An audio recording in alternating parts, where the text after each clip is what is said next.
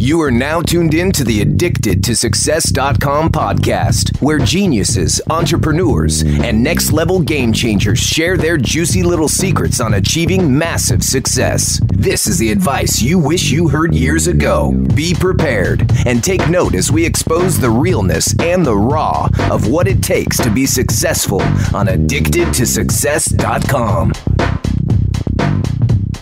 Now, before we get into this interview, I have an exclusive opportunity for you that I'd love to bring to your attention, and that is I have just launched a 6 to 12 month mastermind called the Circle of Influence, where I'll be taking you under my wing to show you how to build a platform online that generates an income for you so you can have more freedom in your life. I'm also going to show you how to become a powerful influencer online so that you can score interviews and so you can get exposure on major publications and platforms. And I'm going to even show you how to build these platforms yourself, such as a website, a podcast, a YouTube channel, and a social media following so that you can get your message out there to millions. I'm also going to show you how to network with other incredible leaders online so that you can interview them and so that you can collaborate with them and really show you how to refine your story so you can share it in an unforgettable way to score more interviews to score book deals and to gain more speaking opportunities so that you can become a powerhouse leader. Now, if this speaks to you, make sure you head over to iamjoelbrown.com slash apply and get in before I close my doors on this live, interactive, exclusive opportunity where I'm going to go deep with you and with the community of Circle of Influence Game Changers. Don't miss this. Now, let's get into this interview. Ladies and gentlemen, welcome to the Addicted to Success podcast. I'm your host, Joel Brown, and I'm here today with Charlie Houpert, who is an incredible teacher, an incredible, inspiring individual who runs the Charisma on Command YouTube channel that has over 1.8 million subscribers. And, you know, I've followed Charlie's work for quite a while now. I love the way that Charlie really analyzes situations and breaks it down and shares with you how people are more confident, how people connect, uh, and, and how you too are able to increase your charisma. So, Charlie, I'm excited for you to jump on today and instill your wisdom with the Addicted to Success audience. Welcome awesome, to man. Success I'm very, very happy to be here, man. Good to good to finally connect with you. Yeah, yeah. Like I said, I've been following you for years, man, and you know, it's always interesting. I see the breakdowns that you do on a lot of celebrities, and you know, you did a breakdown on uh, Kevin Hart, you did one on The Rock, and you do it on Jordan Peterson, and a lot of uh, influential people. And you know, my question for you would be, out of all these people that you've studied, who do you feel really embodies the the, the charisma and the confidence at the highest level? Who really? Oh man, great question. I've actually thought about this. So I, there, there's people that have different things that I like, and I'll give you, I guess, a top three. So overall influential can change someone's life in a conversation, I have to give it to Tony Robbins. Uh, I know you mentioned you had a chance to speak to him. What I've watched of him and what I understand is that, that he can intervene in someone's life for literally 20 minutes and leave the kind of impression that affects their behavior 10 years down the line. So that's, that's incredible. And he does it at scale. Uh, for verbal articulation and an ability to make people laugh, to connect with people in a room, Russell Brand is one of the people that I most admire. He is so clever and quick.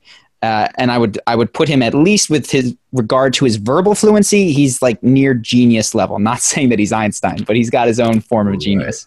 Uh, and then in terms of connecting with people, I just did a breakdown of Oprah, and she, I've never seen someone, it's crazy, it's a little bit before my time, but she makes all of her guests cry, like connects with them in such a way that is so deep and so profound that despite the fact that they're on camera in front of an audience, they open up to her in a way that they may never have done with anyone in their life. So those are my personal top three.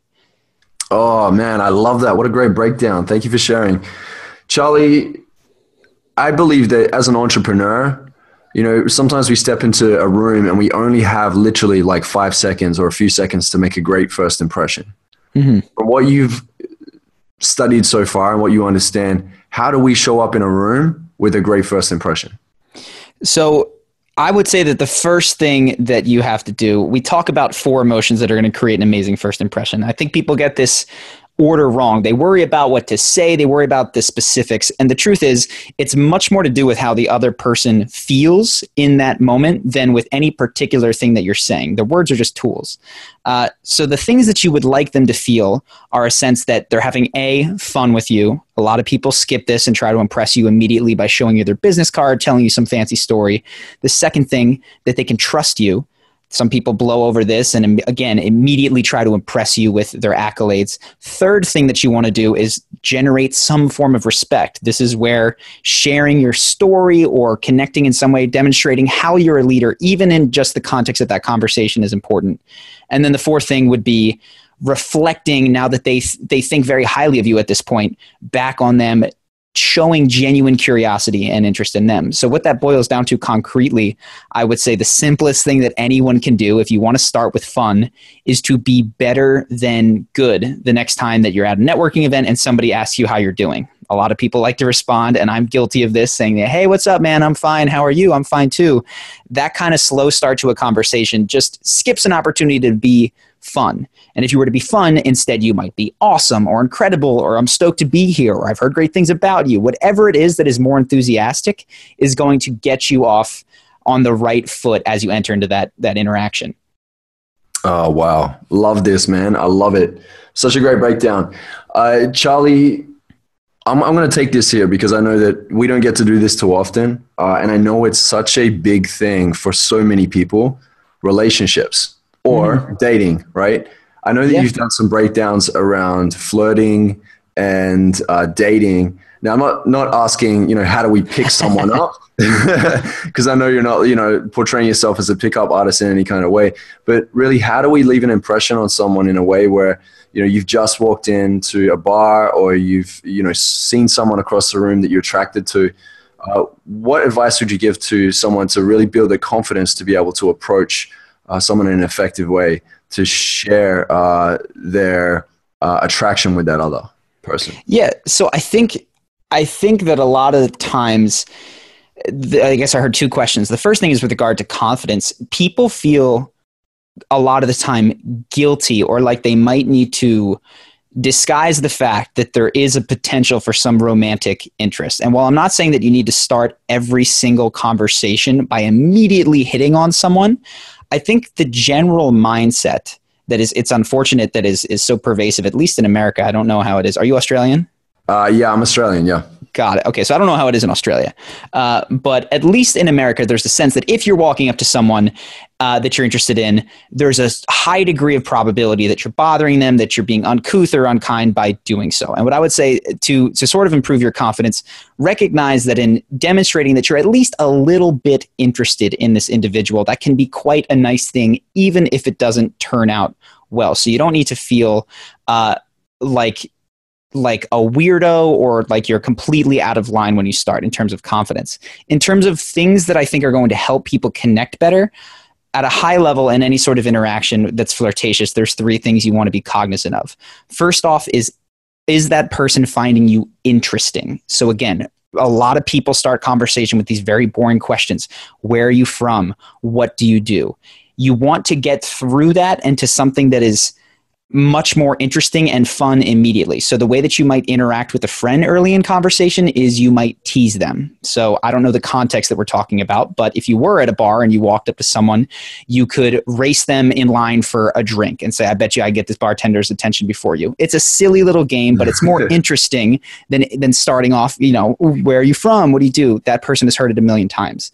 The second thing is to really internalize this belief that you are not madly in love with them and 100% approving of everything that they do the instant that you speak to them. I know sometimes that men and women can be caught up in a sort of starstruck stance when they when they see someone that they really like. And if you go in instead with the mindset that I don't know anything about this person, I might like the way they look or carry themselves, but I'm genuinely interested in finding out if we are a match, that'll make it so that your communication is much more curious and trying to find out if you are a fit rather than justifying yourself and seeking their validation. Um, so that's a very important mindset to have for the second piece of interaction, where a lot of men in particular will try to justify themselves to women. And no matter what the person that they're speaking to says you know i'm from alabama they go oh my god that's amazing alabama. And they say yeah i traveled to rome. They go rome? Wow that's am-. like everything they've ever done is amazing. Uh, you you want to let that mindset go. And then the third thing coming back to that piece about confidence is that when it comes down to it, the difference between a friend and someone who's romantic is that there is some kind of physical or sexual tension.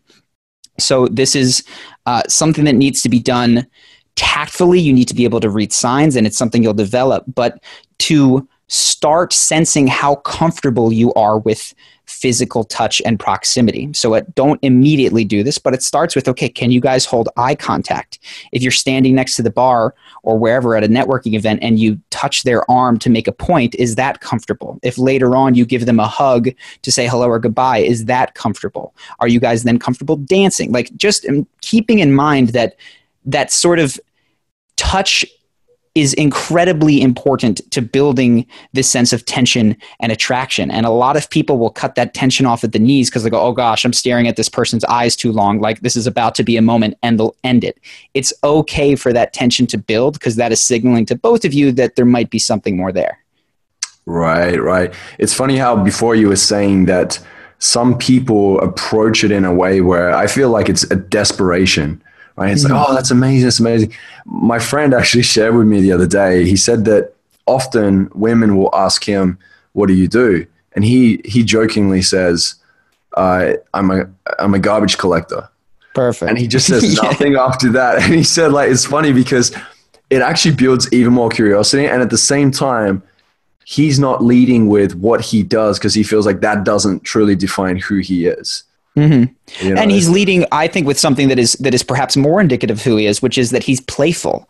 Like when people say, "Where are you from? What do you do?" These are just these are these are questions to try to connect with someone. They're not literal queries for the actual information though later on they might become important.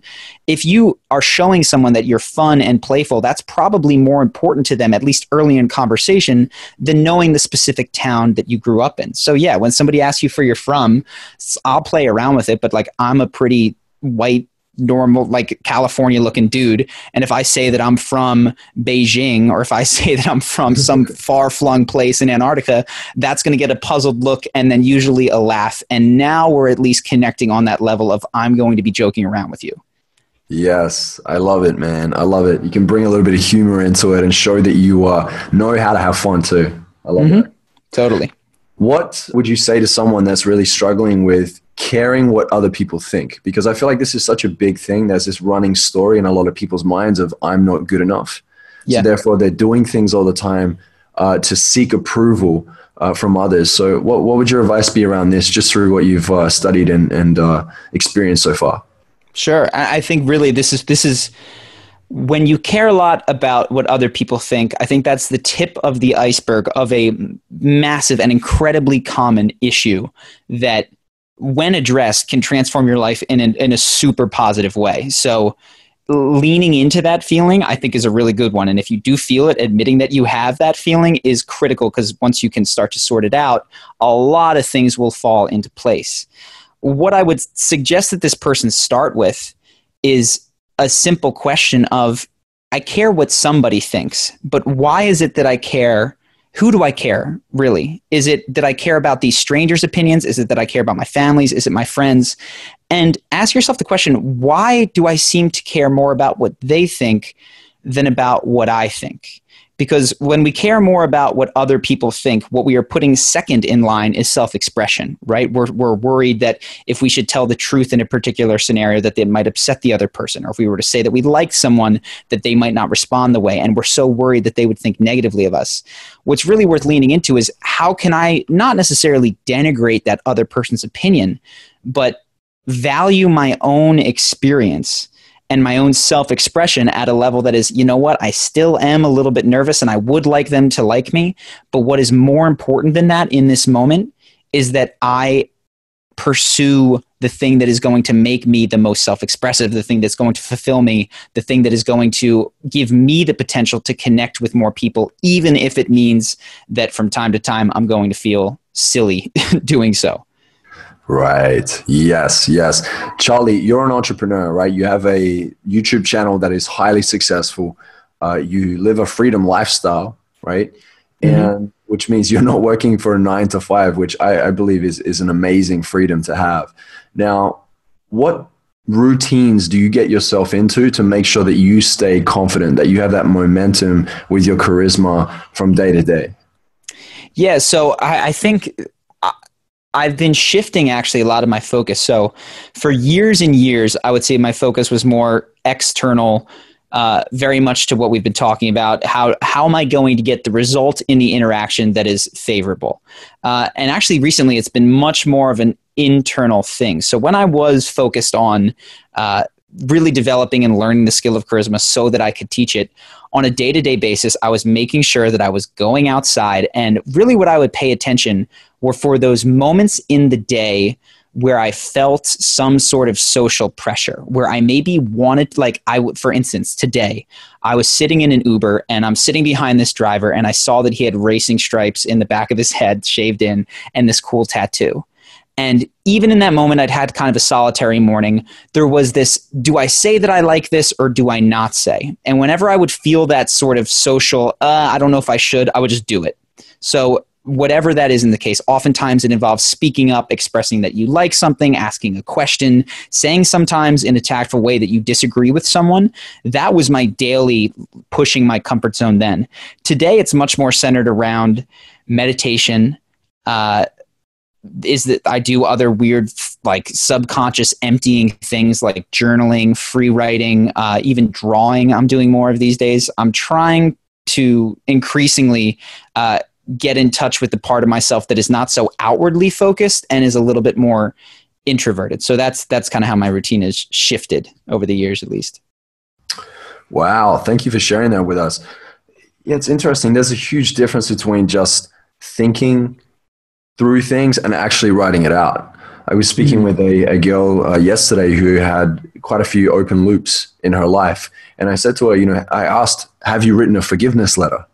You know, in yeah. this situation. And she's like, no, no, well, I forgive. And I, I said, well, there's a difference. There really is. Because when you make that mind body connection and you write it out, you're also relaying back to yourself as live feedback that you're committing to this new decision. Absolutely. I've been I've been fascinated the mind body stuff. I mean, I've done I've gone to a handful because this is part of my job and also my interest of these conferences and I've been going even more out there than I would have expected. But there's ones that I've been to that are about ecstatic dancing. So you can express yourself through writing, you can express yourself through dancing. And I was I was profoundly impressed by how dramatically this style of it's called ecstatic dancing. You close your eyes, you listen to the movie, the music, you kind of let it take you. The type of effect that that has on your mindset even for hours and hours afterwards. Um, all of these mind body things i'm getting into in a in a much bigger way just in my personal life and hopefully i'll be able to talk more on the channel once i have some some conclusions about it. Nice. They love ecstatic dance out here in bali. So if you ever oh yeah? they, they jam out with the ecstatic dance. Dude i think i think dancing i think singing these kinds of uh, expression that maybe are often considered feminine are so one thing that's interesting is that in a lot of cultures, I don't know if this is true in Balinese, it sounds like it might be, they are uh, community building activities number one. But number two it is an incredible way to get in touch with your genuine desire. I feel like you asked the question of building this confidence. Part of the issue is that people are so con- disconnected from what they want and so hyper connected to how they're being perceived. And the really getting back to the the mind body connection that's how you get in touch it with a in a really profound way with what it is that you desire in any given instant. And if you find that you're constantly being pushed and pulled by the winds of what other people might think about what you do, it's not so much that that's turned up too loud, it's that your own impulses have been turned down so low. So this stuff can be very very valuable if you're if you find yourself hyper concerned with what other people are thinking all the time. This is great. This is called meta perception, right?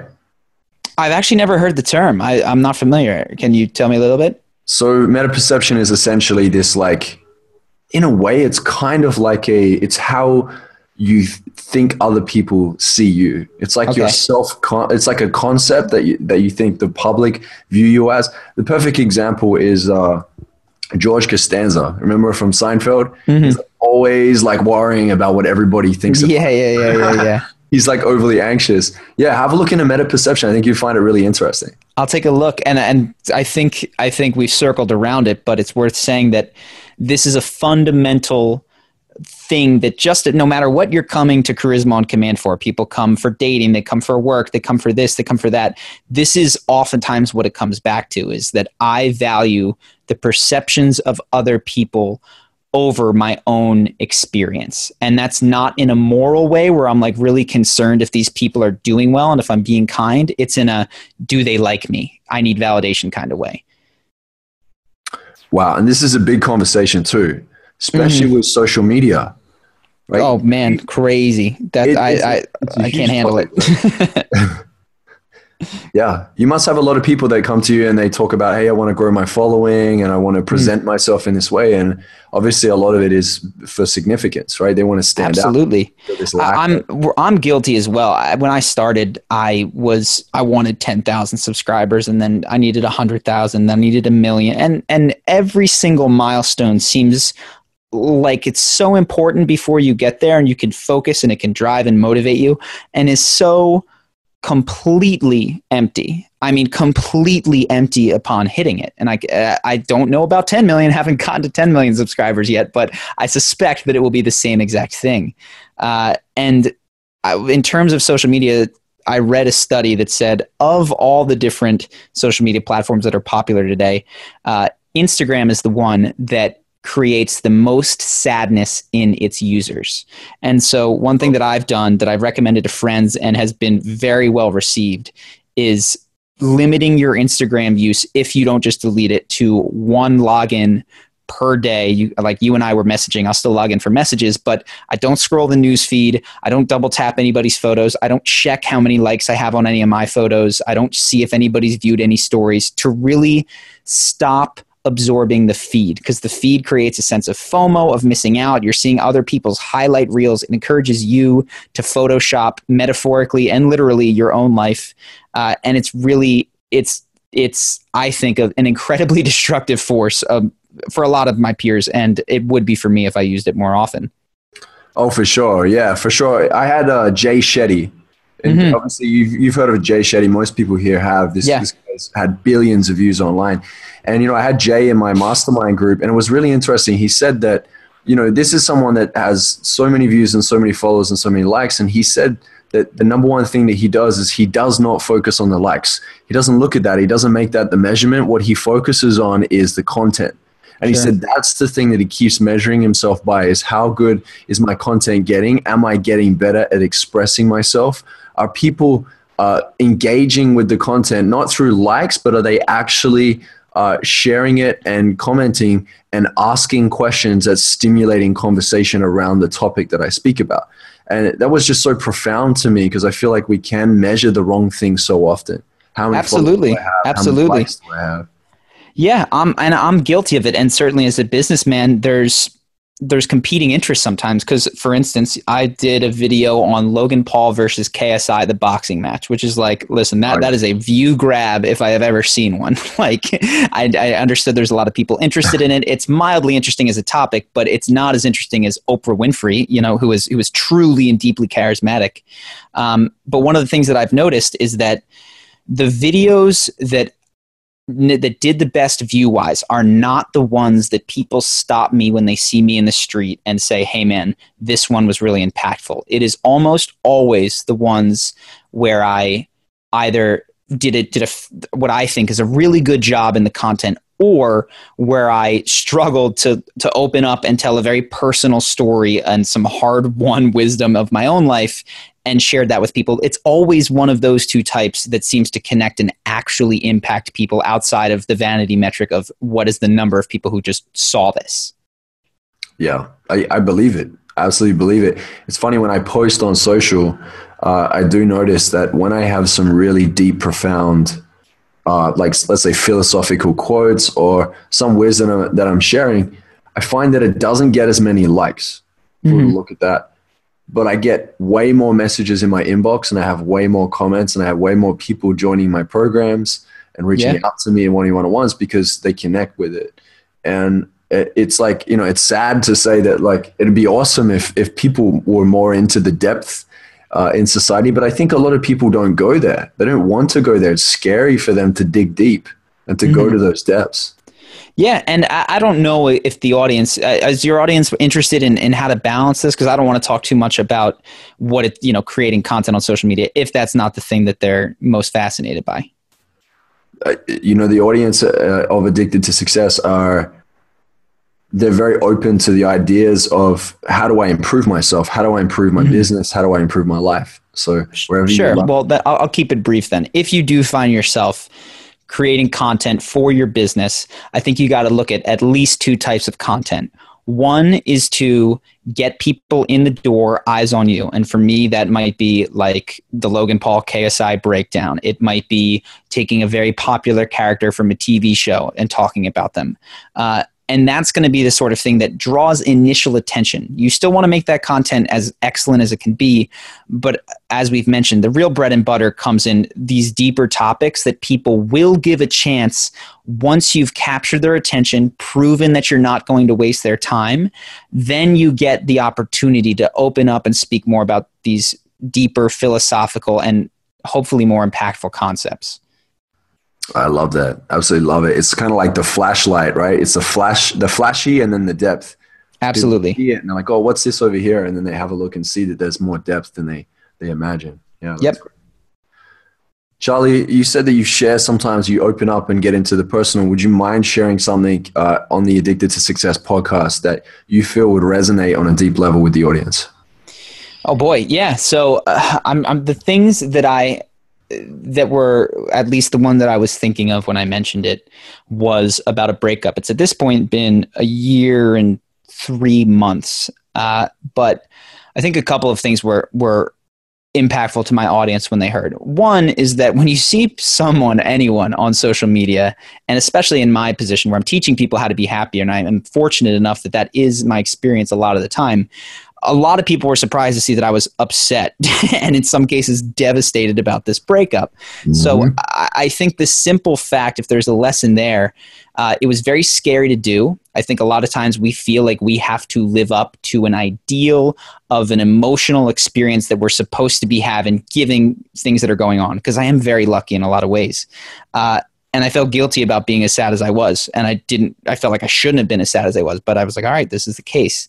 And in doing that, I think it gave a lot of other people permission to be sad. And there is something cathartic, not that you need to dwell in sadness, but in knowing that you are not alone and going through a tough time, even if things appear to be good on the outside, that is that's very important, I think, to to getting better.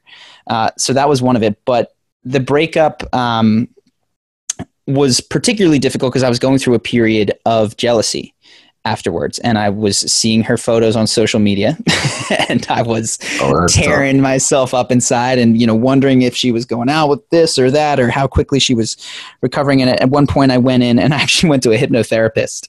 I was like i need the heavy duty guns. I've never tried this before but i want to check it out. And wow. uh, it wasn't at all what i expected but i'd mentioned this to him that this had been a trigger. I saw a photo of her and he told me a story that that I found very impactful. And he said, you know, when I broke up with my girlfriend, same sort of thing happened.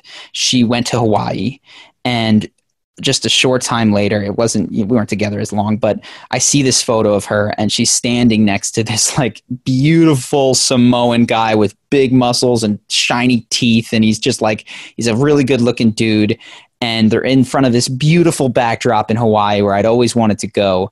And she has the biggest smile on her face. And in that moment, I'm like, oh my God, man, that must have sucked. Like, that must have been terrible. And he said, yeah, but very quickly after, uh, I was just so happy that she was happy. And I think when I felt that, I felt like I knew what love was. And I remember in that moment, in my very self centered, wanting her to be sad because I was sad, uh, just misery loves company type of mood, that hit me. And realizing, and I think it's something that I still work on, that when you do love someone, it doesn't necessarily mean you approve of everything that you do. It doesn't even necessarily mean that you guys still have a relationship that involves spending a lot of time together. But it does mean that you are made happy and genuinely root for their well-being and for them to be as as well off as they possibly can. And that made a huge impact on me.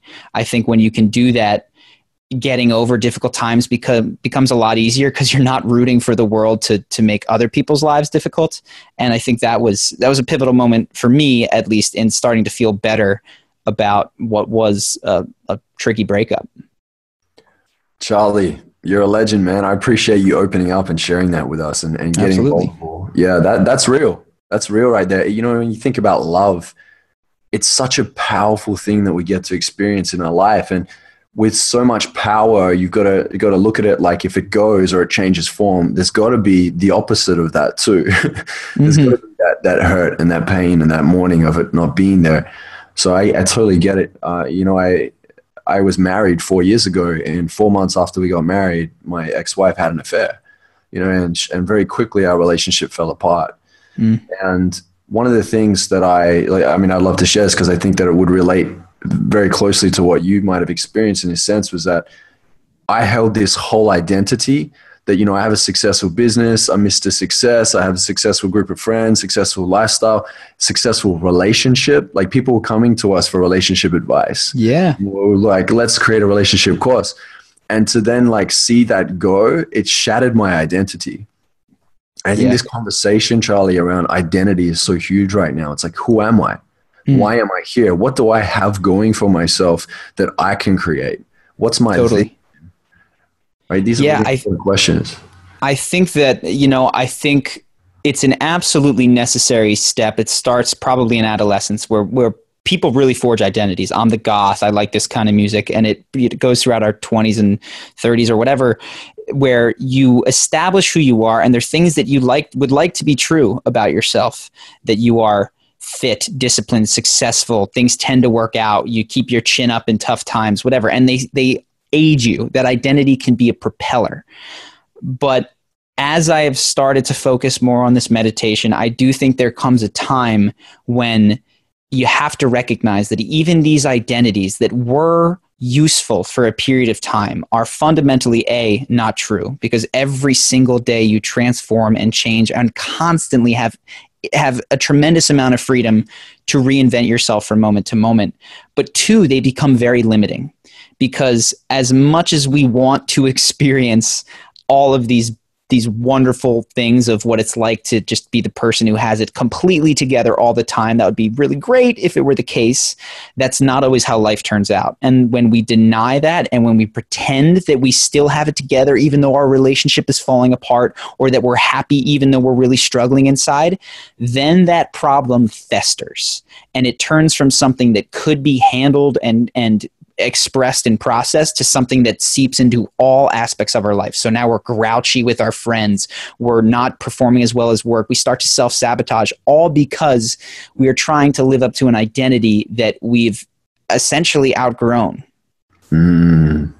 Yep, there you go. You said it. The, the identity that we've essentially outgrown. That's the thing, right? Like if you're committed to this self development as well, you're going to feel it at a faster pace. Hmm over and over again. So, yeah, yeah thank so you. Thanks for sharing I think that. so. That's that's great, Charlie. What do you believe are some things that people are doing that kill their charisma, that bring their confidence down? That you see people doing. It might be like this subtle thing, but it eats away at their charisma. I think I think one of the things that I see people do, and I, I'm thinking of the ones that I'm particularly guilty of, is they give qualifiers oftentimes before they anything in their life that's important to them. So I, I, would do this with singing. I did it with my writing. Before they show anybody, they feel the need to say, "Listen, it's not that good. It's not that it's it's not developed. It's not that done. This isn't even really about your charisma. This is about your confidence."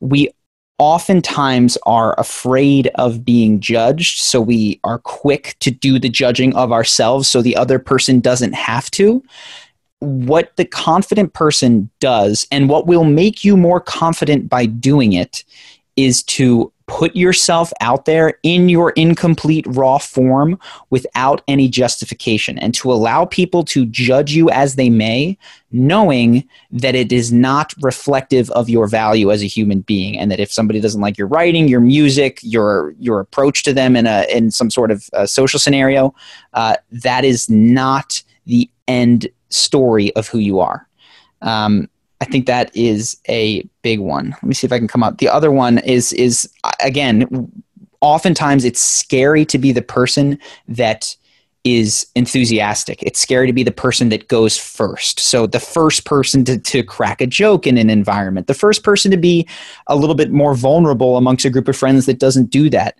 uh, the first person to express that they have interest in something that isn't strictly in line with what you would expect out of their friend group. When you refuse to go first, you refuse to be a leader. And so by definition, you if you want to be a leader and you want to be charismatic, you're going to have to go first, which means you're you're going to stick your neck out sometimes and you're not sure how people are going to react. That is what leaders do. And so by trying to always check the weather and see which way the wind is blowing before you commit yourself to saying how you feel, I think that's one of the big things that that sabotages people's charisma. Um, and we can we can go on as, as long as you want. I don't, I don't know if you want to continue. I mean, these are two really amazing examples. I love that you went there. You know, I I tell people often. I work with a lot of entrepreneurs, and I, and they have this perfectionist thing quite often, um, which ultimately, to me, even just through what you were saying, sounds like they're scared of being judged, right? Absolutely. Yeah. So, so you know, I say to them, I said that a leader isn't concerned with being perfect. The leader is more concerned with the process. Mm you know like really like what is the process of this? Because if you're always going for perfect you've got this crazy fantasy expectation and you're often going to be let down. And when you're let down everyone else that's following you or looking for your charge are also going to be feeling the same vibe too. Yeah. And i think and i think it's important to realize it's a bit of a cliche but confidence does not mean that you are sure that everything you do is going to go well. Confidence means that you know that you have the internal fortitude to pick yourself back up, to understand your own value, even in the face of abject failure. And it's it really what that's what confidence is if you think about it. It's it's easy to be confident in something that you know you're skilled in. When it, when you're we've been driving a car for 15 years and you get on the highway it doesn't require any confidence. Really what requires genuine confidence is doing something where failure might be the norm, like entrepreneurship, and understanding that you could screw up again and again and again, but that does not define you. Yes, that's why I love entrepreneurship. Like yeah, it'll teach you. It'll teach you very quickly. Entrepreneurship is like a battlefield. You're on it every day. Yeah, yeah. I mean, and and the other thing that I will say is, uh, I I don't know how everybody else's entrepreneurial journey will be, but I have to say mine has been uh, there's been trials and tribulations, but it mine hasn't felt like a battlefield. Mine has felt like the most wonderful experience ever. Going into the office for me, that felt like a war. Like that was an internal, gut wrenching. Like I, I, wake up and I put on this suit that is a costume essentially, and pretend to care about something that I don't care about.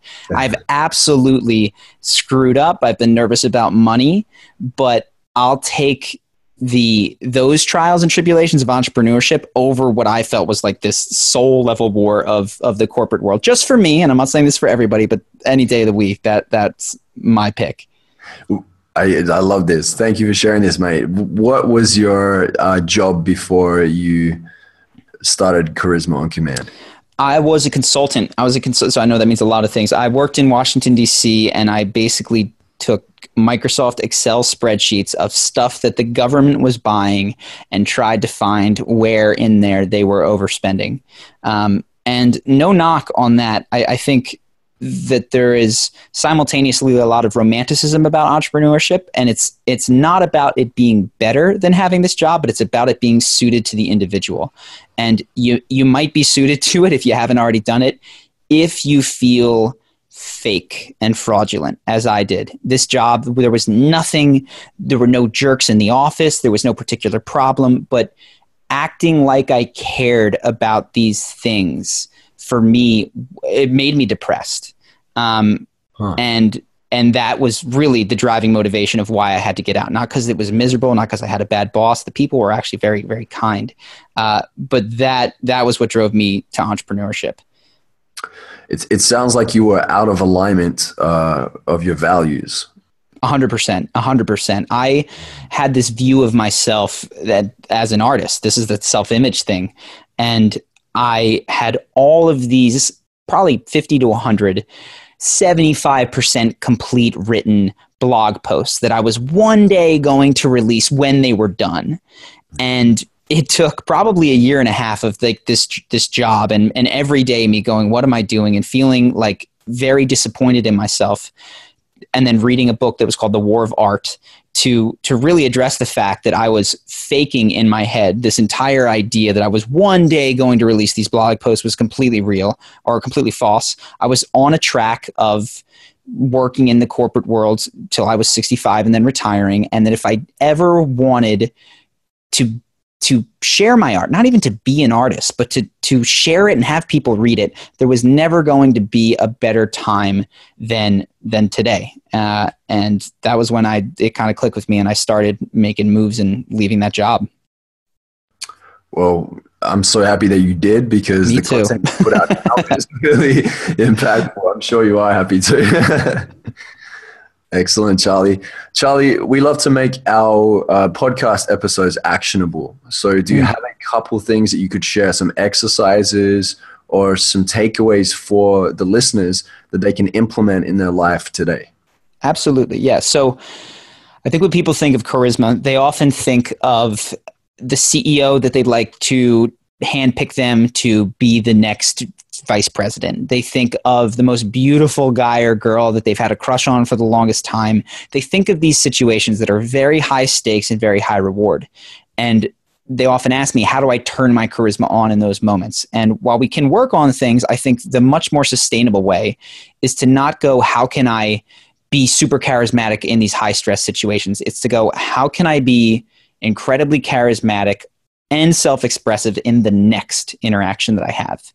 And the next interaction that you have is often with someone that you see all the time. And so you're kind of low energy and boring.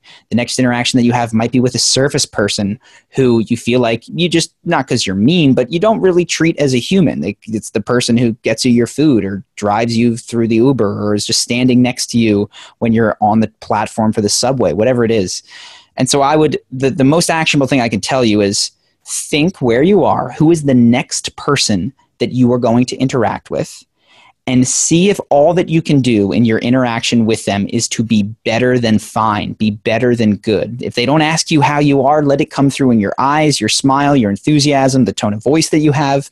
Uh, and it's not just for them, it's for you as well. So while you're sitting here listening, you can start to think about the exciting things that would happen if you did this. Isn't it nicer to walk through life feeling a little bit more animated? Doesn't mean that you have to jump up and down like Tigger, but just to allow yourself to feel positive feelings and then to express them to the person that you next see. I think that is the recipe for long lasting charisma that really does follow you into the most stressful situations. Mm, yes, I love this. Uh, it's like that movie, uh, We Bought a Zoo where he says at the end, like, all you need is 30 seconds of courage. Yeah. Yeah. And it's, and, the, and the thing is, it's, it's, absolutely true it's it's the, there's these pivotal moments in our life and you don't know when they're coming so start now like that's that's the best advice i can give yeah wonderful wonderful charlie thank you so much for sharing these exercises your wisdom for opening up and being vulnerable Mate, there was so much value in this episode. I appreciate you. And for anyone that's listening, there's a ton of value in Charlie's Charisma on Command University. Uh, I purchased it myself. I'm in there. I, I take the lessons. I watch the videos. Charlie is an absolute rock star teacher. And more importantly, he's digging into some angles that I've, I feel I've never learned from anybody else before. You know, so he's got a lot of amazing things that, that will definitely help you increase your charisma. Uh, I've implemented a few things myself that I've learned from Charlie through the uh, the academy, and I've implemented it into my own uh, career in the way of public speaking and stepping into to business meetings and just meeting people in the day to day life that I, I live. So you know, if you're listening right now, uh, make sure that you check this out. Make sure you go to Charlie's uh, website. And Charlie, I believe that's charismaoncommand.com, right? Yep, yep. The website is charismaoncommand.com. I'm I'm glad to hear that you're getting a lot of value out of the university. There's a link in the top that says Charisma University uh, if people want to join. And for you, I should tell you, we're actually reshooting the whole thing. So I'm I'm taking my time because I can be slow at these things, but I'm about one third of the way done, and so it's going to be completely redone with some nice post production and all that kind of stuff. Hopefully within the next uh, two months or something like that. Oh, sweet, brother. Sweet. All right. So, Charlie, thanks a million for jumping on. Uh, how can people find you online uh, through your social? Are you on social media right now? Actively? Yes. Yes. So I mean, not not tremendously actively. Um, you can I post one photo on Instagram per month if you want to see what that photo is. Sometimes I have some music on there as well, uh, which is another hobby of mine. So that's at Charlie Houpert. Uh, and then, but the big one where we have all of our videos is on YouTube. Just Charisma on Command. If you search it in Google or in YouTube, it should be the first one that comes up. Excellent, Charlie. Thank you for jumping in, mate. Really appreciate you. Uh, we always end this interview with the one with this last question here, and the question is: If you were to deliver your last thirty second speech to the world, what would that last thirty seconds sound like? Oh boy, I wish I knew this was coming. Confidence, uh, brother. all right, so I'm gonna I'm gonna go off the top of the dome here. Uh, tell the person or the people in your life that you love how you how you feel about them and do it right now. Uh, that's what matters at the end and you don't want to die or have them disappear without any chance to to express that. So so call your mom. That's what i would say